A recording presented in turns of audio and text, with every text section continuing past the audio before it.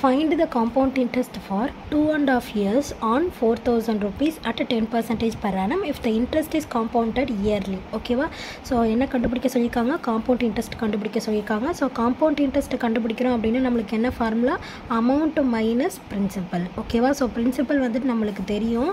எவ்வளோ கொடுத்துருக்காங்க? Four thousand அப்படின்னு சொல்லிட்டு கொடுத்துட்டாங்க. ஆனால் அமௌண்ட் நம்மளுக்கு கொடுத்துருக்காங்களா? கொடுக்கல. அப்போ நம்ம என்ன கண்டுபிடிக்கணும்? அமௌண்ட் கண்டுபிடிச்சிட்டு அதை கொண்டு போய் சப்ஸ்டியூட் பண்ணி மைனஸ் பண்ணோம் அப்படின்னா தான் நம்மளுக்கு காம்பவுண்ட் இன்ட்ரெஸ்ட் கிடைக்கும். ஓகேவா? ஸோ இப்போ அமௌண்ட்டு கண்டுபிடிக்கிறதுக்கான ஃபார்முலா என்ன அப்படின்னா இப்போ இது வந்து two years three years four years இந்த மாதிரி ஒன் டிஜிட்டில் கொடுத்தாங்க அப்படின்னா நம்ம ஈஸியாக ஃபார்முலா போட்டுடலாம். இப்போ இதுவே இந்த மாதிரி கொடுத்துருக்காங்க பார்த்தீங்களா மிக்சட் ஃப்ராக்ஷனில் இந்த மாதிரி கொடுத்தாங்க அப்படின்னா என்ன ஃபார்முலானா P into one plus R by hundred ஓகேவா? ஸோ இந்த இடத்துல வந்துட்டு என்னது? ஹோல் பவர் என்னன்னு போட்டு முடிச்சிருவோம். ஓகேவா ஃபார்முலாவா இதுவே வந்துட்டு இந்த மாதிரி இருந்தது அப்படின்னா இதை நீங்கள் எப்படி பார்க்குறீங்க அப்படின்னா ஏ பி பை சி அப்படின்னு எடுத்துக்கோங்க. ஓகேவா? ஸோ இந்த டூ ஒன் பை டூ எப்படி எடுத்துக்கிறோம்? ஏ பி பை சி அப்படின்னு எடுத்துக்கிறோம். இந்த முன்னாடி இருக்கல ஏ அது வந்துட்டு கன்ஃபார்ம் டூ இயர்ஸ் ஓகேவா ஸோ அப்போ இந்த ஏவை இங்கே மேலே போட்டுக்கிறோம். ஓகேவா ஸோ அடுத்து இந்த பி பை சி அப்படிங்கிற ஹாஃப் இயர் இருக்குல்ல அதை எப்படி கணக்கு பண்ண போகிறோம் அப்படின்னா அதே மாதிரி இன்ட்டு ஒன் ப்ளஸ் இந்த இடத்துல ஆர் பை ஹண்ட்ரட் தான் வருது. ஆனால் என்ன பண்ணுறோம் அப்படின்னா இந்த பி பை சியை இங்கே மல்டிப்ளை பண்ணிக்கிறோம்.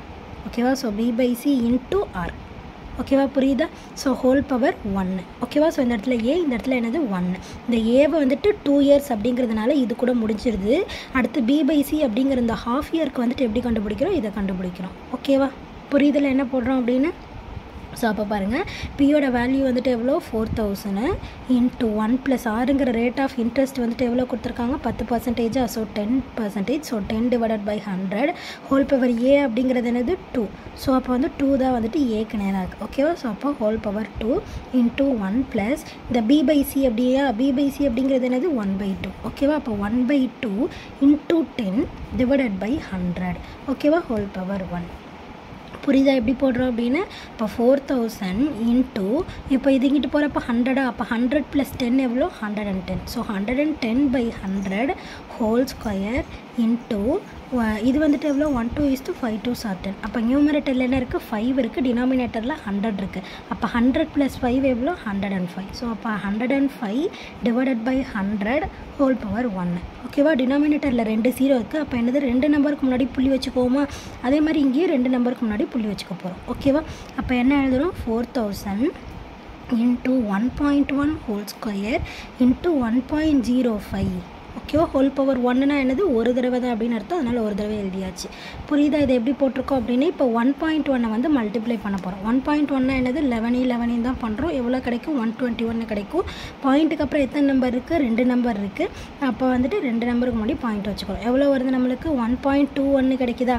அப்போ அதை வந்துட்டு என்ன பண்ணலாம்? ஃபோர் தௌசண்டோட மல்டிப்ளை பண்ணலாமா?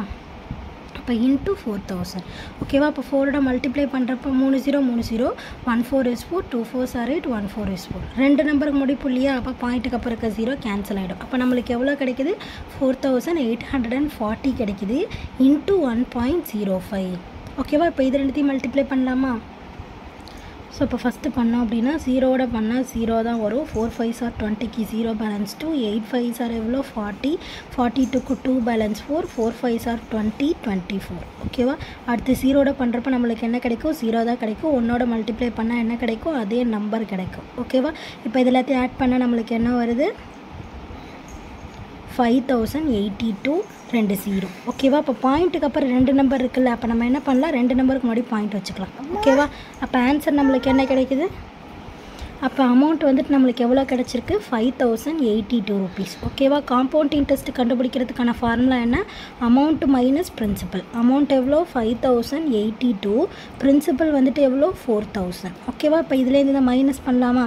ஸோ ஃபோர் தௌசண்டை மைனஸ் பண்ணிட்டோம் அப்படின்னா நம்மளுக்கு என்ன கிடைக்குது? தௌசண்ட் எயிட்டி ருபீஸ் ஓகேவா அந்த தௌசண்ட் எயிட்டி ருபீஸ் அப்படிங்கிறது தான் வந்துட்டு என்னது? காம்பவுண்ட் இன்ட்ரெஸ்ட் புரிஞ்சுது? அந்த சம் எப்படி போட்டிருக்கோம் அப்படின்னு ப்ளேலிஸ்ட்கான லிங்க் டிஸ்கிரிப்ஷனில் இருக்குது ஸோ ப்ளேலிஸ்ட் செக் பண்ணிங்க அப்படின்னா எல்லா சம்ஸ்க்கான ஆன்சர்ஸுமே பார்த்து தெரிஞ்சுக்கலாம். ஏதாவது டவுட் அப்படின்னா என்ன டவுட் அப்படின்னு சொல்லிட்டு கமெண்ட் பண்ணுங்கள் தேங்க்யூ